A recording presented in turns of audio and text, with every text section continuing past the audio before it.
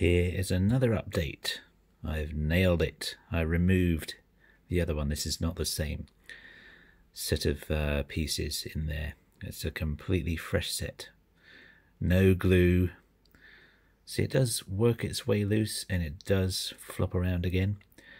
But all you need to do then is just tighten it. I can't believe I said but like Tony Blair. But all you need to do is tighten those up again and you're away. So, um, yeah, no gluing. This floppy bit does not bother me because I know that all I have to do is just give those little tighten again and it'll be nice and stiff again.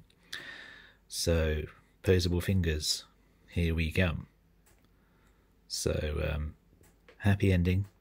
I guess the only downside is I'm down uh, one single finger joint now. So, but that's not so bad because this middle finger here, as you can see, is using the original joints, and some of these are pretty damn stiff.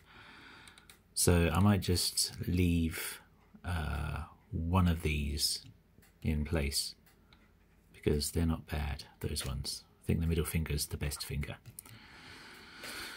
So there you go, that's my update. We've had a, a happy ending and uh, a bit of awkwardness, but I think I'm going to get there. So this is going back on soon. So good news.